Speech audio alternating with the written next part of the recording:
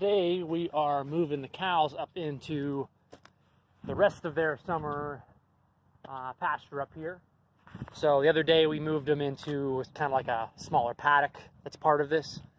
Um, wanted to get them kind of used to being out on the grass because uh, they didn't have a lot of grass in their in their winter uh, feed lot, and uh, we also wanted to get them used to the fences and kind of the new the new area a little bit before we put them out on a big big field. So today we're going to move them out onto this um, and let them start to eat some of this grass. Looks like it's coming in pretty good. Uh, so hopefully that'll hold up uh, through the summer for them to eat.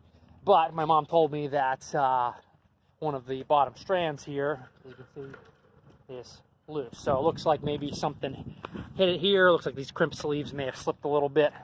So I gotta fix that, tighten this bottom strand back up, and I, want to put a uh, tester on it to see how much voltage we got.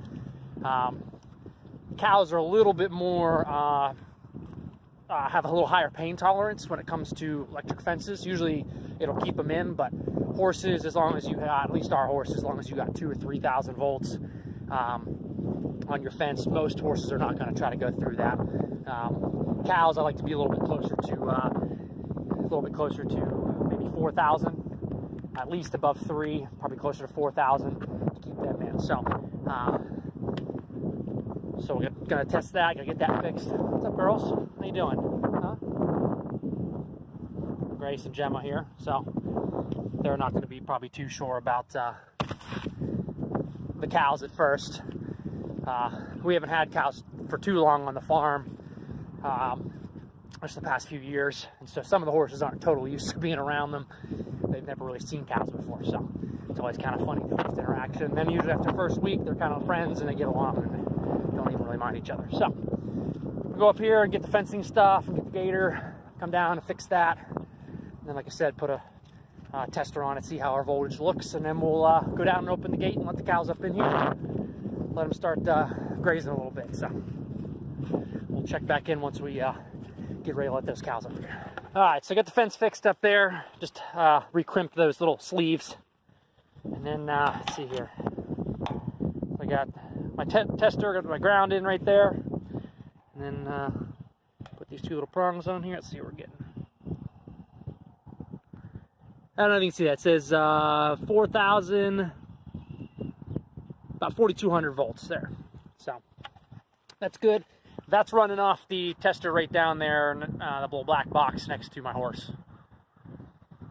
So that runs all these barnyards down here uh, all the fences over the cows are. And then on the other side of this gate and all these fields run off of another tester that was up at the house. So I had to shut that one off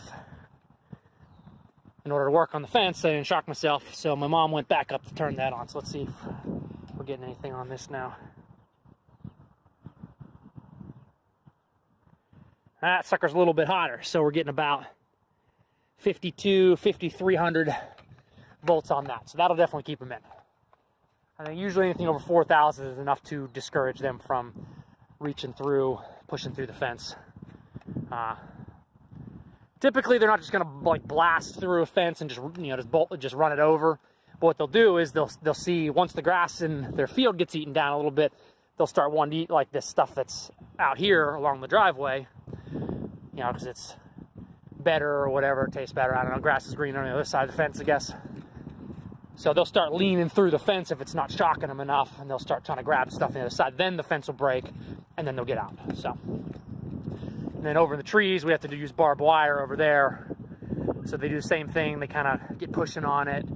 Um, you can see down where they were during the winter. There's a lot of places where the barbed wire has little chunks of cow hair on there from when they were leaning through out of out of curiosity or something they wanted to try to eat over there. So they seem, I opened the gate for them, so they're able to go up in that field now.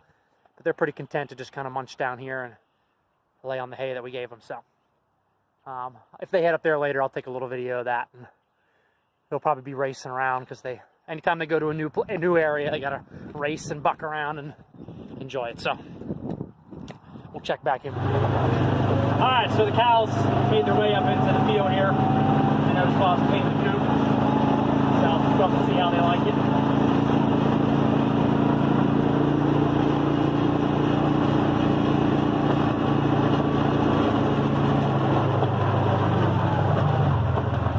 They seem pretty, uh, pretty content.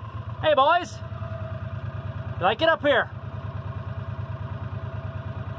As you can see, the horses up there are like, what is going on? What are those things?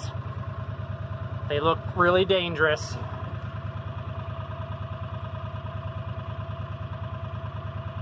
It's funny to me that they can tell the difference. I mean, to me, cows and horses, the shape is not that different. I mean, four legs.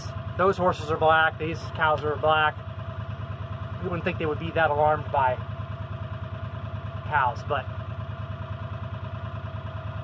there's something very ominous about uh, those cows, I guess. Eating some grass, huh? It looks like they're good. The goal is, I'd rather them come up and just start eating than start racing around and testing fences and stuff like that. So, looks like they uh, did what I wanted to, wanted them to. So, we'll come up and check on them a little later, and finish up with chicken coops.